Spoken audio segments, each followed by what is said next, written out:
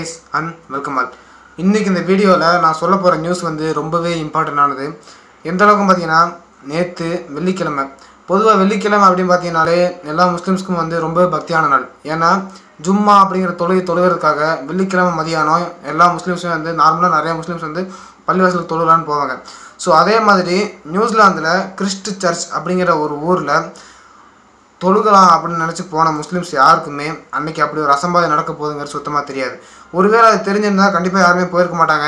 So அப்படி அங்கே என்ன அசம்பாதம் நடந்துச்சு அப்படிங்கிறத பற்றி நான் வீடியோவில் சொல்ல போகிறேன் ஸோ அதான் இன்றைக்கான நியூஸ் ஸோ வாங்க வீடியோ போகலாம்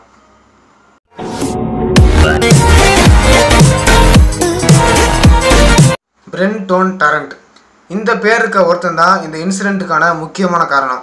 ஸோ இவன் யாருன்னு பார்த்தீங்கன்னா இவன் வந்து ஒரு ஆஸ்திரேலியன் சிட்டிசன் இருபத்தெட்டு வயசு இருக்க ஒரு பையன். இவன் ரெண்டாயிரத்தி ஒம்போதில் ஸ்கூல் லைஃப் முடிச்சு ரெண்டாயிரத்தி பதினொன்று வரையும் வெறும் ரெண்டு வருஷம் தான் ரெண்டாயிரத்தி பதினொன்று வரையும் பிக் ரிவர் அப்படிங்கிற ஒரு ஜிம்மில் பர்சனல் ட்ரைனராக ஒர்க் பண்ணி அந்த சம்பளத்தை வச்சு வெறும் ரெண்டு வருஷம் சம்பளத்தை வச்சு ஐரோப்பா ஆசியா நார்த் கொரியா இந்த மாதிரி நிறையா நாட்டுக்கு போய் எல்லா நாட்டிலையுமே அப்படி என்னென்ன நடக்குது அப்படிங்கிறத அனலைஸ் பண்ணி சர்வே பண்ணி தனக்குள்ளே ஒரு தப்பான தாட்டு இந்த என்ன தாட்டுங்கிறத லாஸ்ட்டாக சொல்கிறேன் தனக்குள்ள ஒரு தப்பான தாட்டை வளர்த்துக்கிட்டு ஒருத்தன் தான் இந்த பிரென்டோன் டரண்ட் அப்படிங்கிறவன். ஸோ இவன் வந்து இதை பற்றி இன்னும் சுருக்கமாக சொல்லலாம் அப்படின்னு கேட்டிங்கன்னா ஹீஸ் ஏ ஹார்ட்லெஸ் கிரிமினல் இதயமே இல்லாத ஒரு கொடூரன்னு சொல்லலாம் இதையும் மீறி போய் சொல்லணும் அப்படின்னா ஒரு சைக்கோ ஸோ அவ்வளோதான் அவனை பற்றி கொடுக்க இன்ட்ரோ கொடுக்க முடியும். ஸோ அவன் அந்தளவுக்கு இன்ட்ரோ கொடுக்குற அளவுக்கு அவன் ஒன்றும் அவ்வளோ பெரிய ஆள் கிடையாது. ஆனால் ரீசெண்டாக நம்ம இந்தியாவில் புல்வாமா அப்படிங்கிற இடத்துல நடந்த முந்நூற்றம்பது கிலோ வெடிமருந்து பண்ண ஒரு வேலையை இவன் ஒரு சிங்கிள் பர்சனாக இருந்து பண்ணியிருக்கான். ஸோ அவன் அப்படி என்னதான் பண்ணா அப்படின்னு கேட்டிங்கன்னா நான் ஏற்கனவே சொன்ன மாதிரி நியூசிலாந்தில் கிறிஸ்ட் சர்ச் அப்படிங்கிற இடத்துல இருக்க முஸ்லீம்ஸ்லாம் எந்த மசூதிக்கு தொழுவு போனாங்கன்னு பார்த்தீங்கன்னா அல் நூர் அப்படிங்கிற மசூதிக்கு தான். ஸோ இந்த மசூதிக்கு முஸ்லீம்ஸ்லாம் போகிற அந்த நேரத்தில் இவனும் போயிருக்கான். வெறுமனே போல் தன்னோட காரில் கன்னோட போயிருக்கான். அதுவும் அஞ்சு கன் கொண்டு போயிருக்கான். ஆக்சுவலாக நியூசிலாந்தில் இருக்க ஒரு சட்டம் என்ன பார்த்தீங்கன்னா பதினாறு வயசுலேருந்து பதினெட்டு வயசுக்குள்ளே இருக்கவங்க ஒரு கன் வாங்கணும் யூஸ் பண்ணணும் அப்படின்னா அதுக்கு லைசன்ஸ் கண்டிப்பாக தேவைப்படும். ஸோ அந்த மாதிரி லைசன்ஸ் வேணும் அப்படின்னா அவங்க அதிகமாக ஒன்றும் பண்ண தேவையில்லை. ஒரு கன்னை ஹேண்டில் பண்ணுற அளவுக்கு அவங்ககிட்ட மென்டல் ஸ்ட்ரென்த்தும் ஃபிசிக்கல் ஸ்ட்ரென்த்தும் இருந்தால் போதும். உடம்பு வலிமையும் மனசு வலிமையும் இருந்தால் போதும் ஒரு கன்னை ஹேண்டில் பண்ணுற அளவுக்கு. யாராக இருந்தாலும் பதினாறு வயசுலேயே லைசன்ஸ் வாங்க முடியும். லைசன்ஸ் ஒருக்க வாங்கிட்டாங்கன்னா அவங்க அதுக்கப்புறம் எத்தனை கன் வேணாலும் வாங்கலாம். ஸோ அந்த மாதிரி அந்த ஒரு திட்டத்தை யூஸ் பண்ணி தான் அந்த ஒரு பிளான் போட்டு தான் இவன் வந்து இந்த மாதிரி கன் வாங்கியிருக்கான். ஆக்சுவலாக அந்த கண்ணில் ஒரு மேட்ரு இருக்குது அது என்னங்கிறத அப்புறமா சொல்கிறேன் ஓ இவன் முஸ்லீம்ஸ் எல்லாம் தொழுக போன அந்த மசூதிக்கு போய் அப்படி என்ன பண்ணால் பார்த்தீங்கன்னா ஃபஸ்ட்டு போன உடனே தன்னோட ஃபேஸ்புக் அக்கௌண்ட்டை ஓப்பன் பண்ணி லைவ் ஆன் பண்ணியிருக்கான். ஸோ அவனோட மோ அவனோட மோட்டிவ் என்ன பார்த்தீங்கன்னா தான் தான் பண்ணோம் அப்படிங்கிறது தெரியக்கூடாது அப்படிங்கிறது அவனோட எண்ணமே கிடையாது. நாம தான் பண்ணியிருக்கோம். இங்கே என்ன நடக்குதுங்கிறது எல்லாத்துக்குமே தெரியணும் அப்படிங்கிறது அவனோட ஒரே மோட்டிவாக இருந்திருக்கு. ஸோ அதனால் சோஷியல் மீடியாவில் வந்து வீடியோ அப்லோட் பண்ணி ஆகணும் அப்படிங்கிறதுக்காக லைவாக எடுத்து போட்டிருக்கான். என்ன பண்ணான்னு பார்த்தீங்கன்னா கொண்டு போன கன் எடுத்து அங்கே அமைதியாக ப்ரே பண்ணிட்டு இருந்தா மசூதியில் அமைதியாக தொழுதுட்டு இருந்த அத்தனை பேர்த்தையும் நாற்பத்தி ஒம்பது பேரை அநியாயமாக கொண்டிருக்கான். கொஞ்சம் கூட ஈவரக்கமே இல்லாமல் மூணு வயசுலேருந்து இருபது வயசு இருக்க வரையும் எல்லாரையுமே வந்து கொஞ்சம் கூட பாரபட்சம் பார்க்காம கொண்டிருக்கான். ஒரு தடவை மட்டும் சுட்டானா அப்படின்னு கேட்டிங்கன்னா அப்படி கிடையாது. சுட்டுட்டு திருப்பி வந்து தன்னோட இன்னொரு கண்ணை எடுத்துகிட்டு போய் சுட்டவங்கெல்லாம் உயிரோடு இருக்காங்களா இல்லை செத்துட்டாங்களாங்கிற கண்டுபிடிக்கிறதுக்காகவே மறுபடியும் ஒருக்கு சுட்டிருக்கான். இந்த மாதிரி ஈவரக்கமே இல்லாமல் அவன் எப்படி கொலை பண்ணிக்கான் பார்த்தீங்கன்னா மொத்தம் நாற்பத்தொம்பது பேர்த்த கொலை பண்ணிக்கான் அதில் நாற்பத்தி ஒரு பேர் வந்து ஸ்பாட்லேயே இறந்துட்டாங்க. ஏழு பேர் வந்து பக்கத்துலேருந்து வந்தவங்க அவங்களும் அங்கேயே இறந்துட்டாங்க. ஒருத்தங்களை வந்து ஹாஸ்பிட்டலுக்கு கூட்டி போகலான்னு கூட்டிகிட்டு போயிருக்காங்க. சரி உயிர் பொழைச்சிடுவார் அப்படிங்கிற நம்பிக்கையில் கூட்டிகிட்டு போயிருந்தாலும் ஹாஸ்பிட்டலில் வச்சு அவங்க இறந்துட்டாங்க. ஸோ இந்த மாதிரி நடந்திருக்கு. இது நடந்து கொஞ்ச நேரத்தில் வந்து ரொம்பவே ஃபேமஸ் ஆயிடுச்சு ஏன்னா லைவாக போயிட்டுருக்கு அப்படிங்கிறப்ப இதை பார்க்குறதுக்கே ரொம்ப இது பப்ஜி கேம் விளாட்ற மாதிரி இருக்குது அப்படிங்கிற மாதிரி எல்லாமே பார்த்துட்டு இருந்திருக்காங்க. ஸோ அதை பார்த்துட்டு அந்த அந்த வேலை அந்த இடத்துல அவன் வேலையை முடிச்சுட்டு அடுத்து ஒரு ஏழு நிமிஷம் இருக்கும். ஏழே நிமிஷத்தில் ட்ராவல் பண்ணி அங்கேருந்து கரெக்டாக ஒரு அஞ்சு கிலோமீட்டர் தள்ளி இருக்க இன்னொரு மசூதிக்கு போகிறான் அந்த மசூதியில் இருக்கவங்களையும் சுட்டு கொள்றான். ஸோ இவ்வளவு நடந்திருக்கு ஓகே ஆனால் போலீஸ்காரங்களாம் பார்த்துட்டு சும்மாவாக இருந்தாங்க அப்படின்னு கேட்டிங்கன்னா அப்படி கிடையாது. அந்த இன்சிடென்ட் நடக்குது அப்படிங்கிறது தெரிஞ்ச உடனே அடுத்து ஒரு பாஞ்சு நிமிஷம் தான் இருக்கும். அதுக்குள்ளே நியூசிலாந்தில் இருக்க அந்த சிட்டி சர்ச் அந்த கிறிஸ்டு சர்ச் அப்படிங்கிற ஊரில் இருக்க எல்லா இடத்துலையுமே அந்த ஆஃபீஸ் ஆகட்டும் ஸ்கூல் ஆகட்டும் காலேஜ் ஆகட்டும் எல்லா பில்டிங்ஸுமே வந்து பிளாக் பண்ணி யாருமே உள்ளேருந்து வெளியே வரக்கூடாது. வெளியே வந்தால் ஆபத்து அப்படின்னு சொல்லி எல்லாத்தையுமே பிளாக் பண்ணிட்டாங்க பேன் பண்ணிட்டாங்க. இது மட்டும் இல்லை அந்த அல்நூர் அப்படிங்கிற மசூதிக்கு பக்கத்தில் ரெண்டு கார் இருந்திருக்கு. ரெண்டு கார்லையுமே பாம் இருந்திருக்கு. ஸோ அந்த ரெண்டு பாமையும் டிஃப்யூஸ் பண்ணிட்டாங்க. வெடிக்காத மாதிரி செஞ்சுட்டாங்க.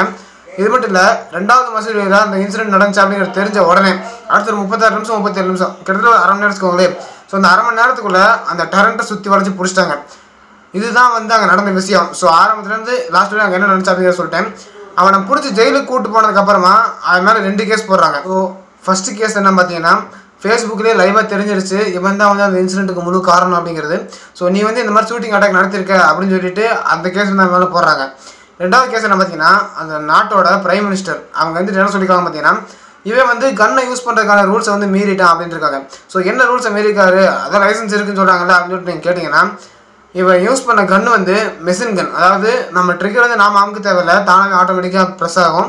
ஸோ அந்த மாதிரி ஒரு கன் தான் யூஸ் பண்ணியிருக்கான் இந்த மாதிரி கன் வந்து யூஸ் பண்ணக்கூடாது அப்படிங்கிறது தான் கண்ணுக்குன்னு இருக்க ஒரு ரூல்ஸு அதை வந்து இவன் மீறிட்டு அப்படிங்கிறதுக்காக அந்த கேஸும் அவன் மேலே போட்டிருக்காங்க. ஸோ இந்த ரெண்டு கேஸும் போட்டு கோர்ட்டு கூட்டு போய் அவனை விசாரிக்கிறப்ப ஜட்ஜி கேள்வி கேட்குறாரு வக்கீல் கேள்வி கேட்குறாரு எல்லாமே கேட்குறாங்க. யார் என்ன கேள்வி கேட்டாலும் இந்த த நான் வந்து மாட்டினாலும் பரவாயில்ல அப்படிங்கிறது இருந்தாலும் பரவாயில்ல. ஆனால் சின்ன பதட்டமாக தான் இருக்கணும். அந்த மாதிரி எதுவுமே இல்லாமல் எல்லாத்தையும் பார்த்து சிரிச்சிட்டே இருந்திருக்கான். ஸோ என்னடா இவன் சிரிச்சிட்டே இருக்கான்? அப்படியே பார்த்து அவனுக்கு என்னடா எப்படி இருக்கான்னு சொல்லிட்டு எல்லா வக்கீலும் வந்து ரொம்ப ஆரோக்கியம் பண்ண ஆரம்பிக்கிறாங்க.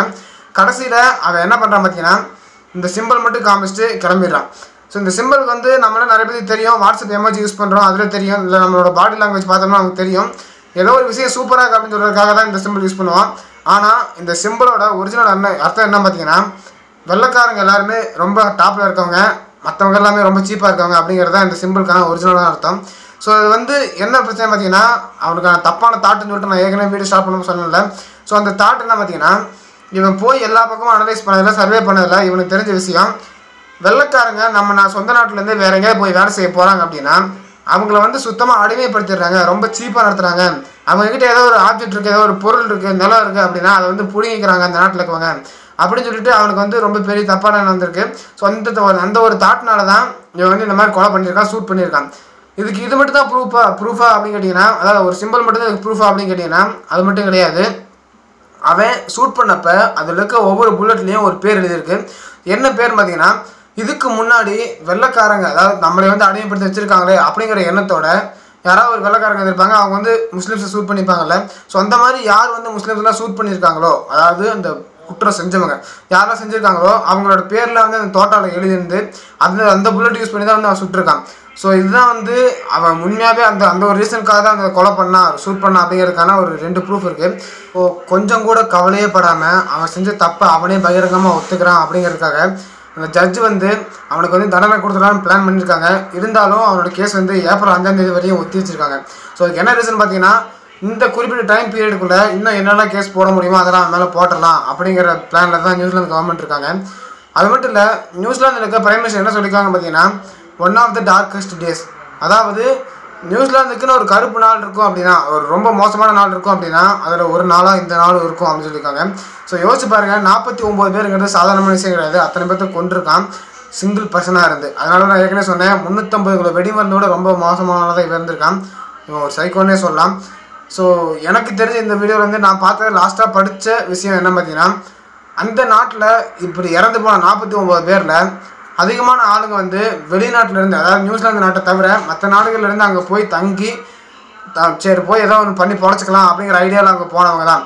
அதில் இந்தியாக்காரங்களும் இருக்காங்க. கரெக்டாக எத்தனை பேரும் தெரியல. இருந்தாலும் நியூசிலாந்து கவர்மெண்ட்டில் இருக்கவங்களும் இந்தியன் கவர்மெண்ட்டில் இருக்கவங்களும் என்ன சொல்கிறாங்க பார்த்தீங்கன்னா அங்கே வந்து மேக்ஸிமம் இந்தியாக்காரங்க இறந்ததுக்கு வாய்ப்பு இருக்குது அப்படின்னு சொல்கிறாங்க ஸோ இதான் வந்து அங்கே ஆரம்பத்தில் இப்போ நடந்த விஷயம்.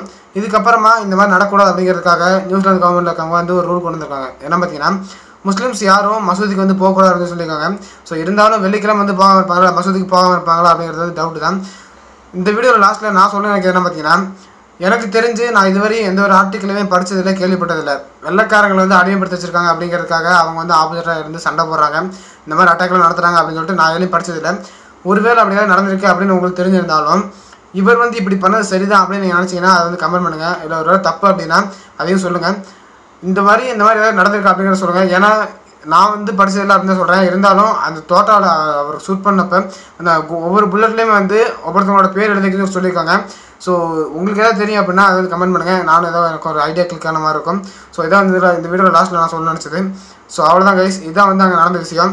ஸோ இந்த வீடியோ வந்து உங்களை அஃபெக்ட் பண்ணிருந்துச்சு அப்படின்னா ஒரு எமோஷன் கிரியேட் பண்ணிருந்துச்சு அப்படின்னா நீங்கள் வந்து லைக் பண்ணுங்கள் இல்லை நான் ஏதோ ஒரு தப்பு பண்ணிட்டேன் ஒரு மைனஸை சொல்லிட்டேன் அப்படின்னா அதை வந்து கமெண்ட் பண்ணுங்கள் கண்டிப்பாக இந்த வீடியோ நாளைக்கு ஷேர் பண்ணி இதை பற்றின அவேர்னஸ் வந்து கிரியேட் பண்ணுங்கள் மறக்காமல் சப்ஸ்கிரைப் பண்ணிடுங்க முக்கியமாக போகிறதுக்கு முன்னாடி பெல் வச்சுட்டு போயிருங்க. ஏன்னா அப்போ நீங்கள் அடிக்கடியுமே போக முடியும். ஸோ நாளைக்கு வந்து ஒரு நல்ல டாப்போட மீட் பண்ணுறேன் பாகிஸ்